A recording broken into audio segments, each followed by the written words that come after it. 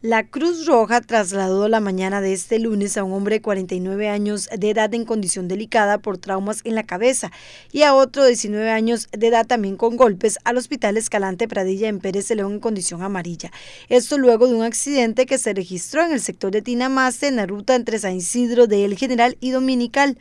Dos vehículos cayeron en una pendiente. Al lugar se hizo presente la Cruz Roja, la Policía de Tránsito y bomberos.